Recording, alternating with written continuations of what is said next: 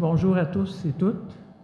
L'exercice financier 2010-2011 était le troisième où les nouvelles normes comptables du gouvernement étaient appliquées.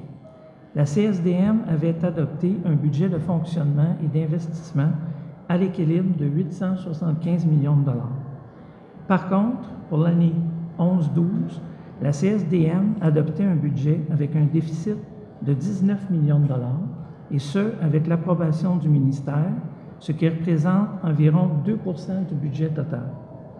Toutefois, nous nous sommes entendus afin qu'une firme externe soit mandatée pour examiner l'ensemble de nos processus de gestion, pour examiner les zones potentiellement sous-financées et faire des recommandations en vue d'une optimisation budgétaire.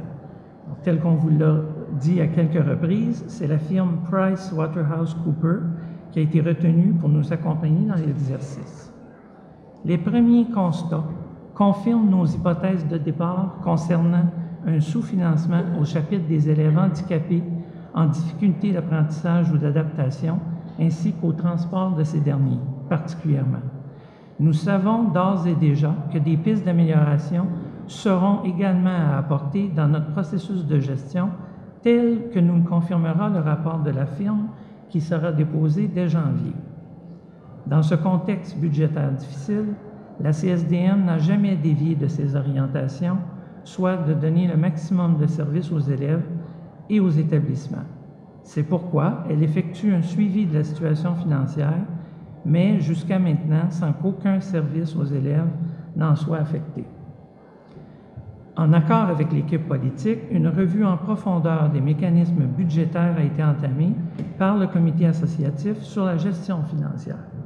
Cette refonte devrait permettre, à sa conclusion, une répartition plus juste plus équitable des ressources. L'objectif étant, dans l'optique d'une commission scolaire nouvelle, d'utiliser le maximum de nos budgets pour le service aux élèves et aux établissements et faire mieux, encore mieux. La CSDM a alloué 16 millions de dollars de plus que le financement reçu pour les services aux élèves handicapés en difficulté d'apprentissage ou d'adaptation, ce qui inclut un important déficit au transport tel que je l'ai dit un peu plus tôt. Concernant maintenant les dépenses par catégorie d'activité, les services directs aux élèves, soit l'enseignement et la formation, le soutien à l'enseignement et à la formation, de même que les activités parascolaires, totalisent 80% de nos dépenses. La gestion des biens meubles et immeubles, qui comprend également l'entretien ménager, la consommation énergétique, par une journée comme aujourd'hui, on en a besoin.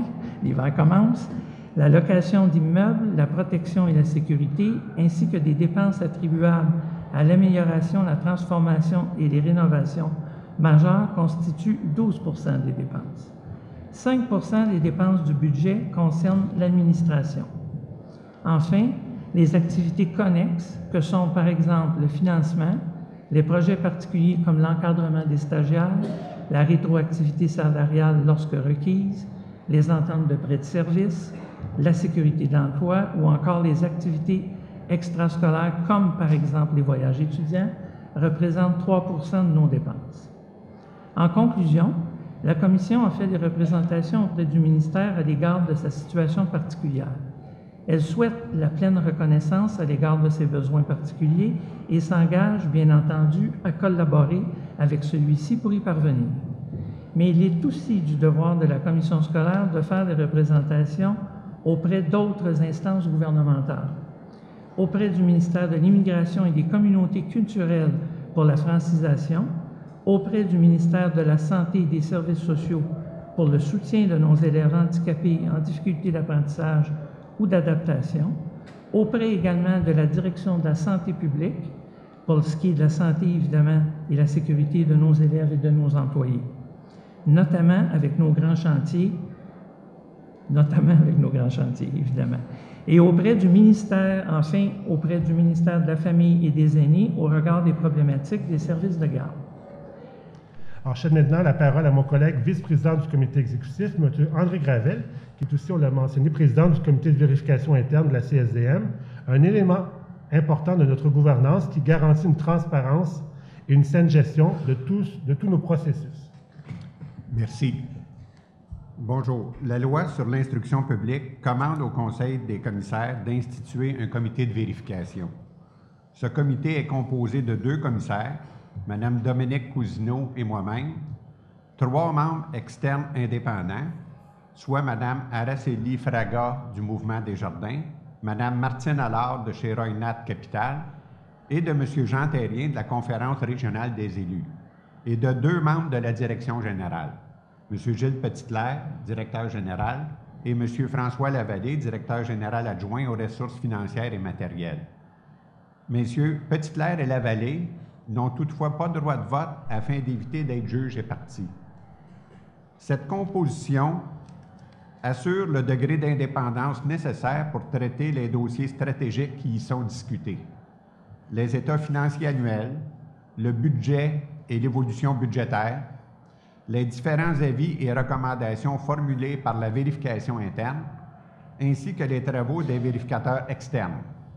Ce comité que j'ai le plaisir de présider supervise les travaux de la vérification interne. Il est important de préciser que l'équipe de vérification interne est une entité indépendante par rapport à la structure décisionnelle de la commission scolaire. Selon l'esprit de la loi, elle a pour fonction d'assister les commissaires pour veiller à la mise en place de mécanismes de contrôle interne et à l'utilisation optimale des ressources de la commission scolaire. À la CSDM, la vérification interne va au-delà de son rôle de surveillance et travaille également à prévenir les erreurs en conseillant les gestionnaires pour tendre vers de meilleures pratiques. L'équipe de la vérification interne a procédé l'an dernier à plus d'une vingtaine de vérifications d'établissements. Plusieurs directions d'établissements ont déjà fait connaître à la vérification interne les moyens qu'elles entendent mettre en œuvre pour remédier aux situations qui requièrent une mesure Les résultats obtenus lors de ces vérifications serviront de référence pour les années futures sur l'évolution de la qualité de nos pratiques de gestion. Une autre partie importante des travaux de la vérification interne est la réalisation de mandats non planifiés pour répondre aux préoccupations immédiates des gestionnaires et décideurs.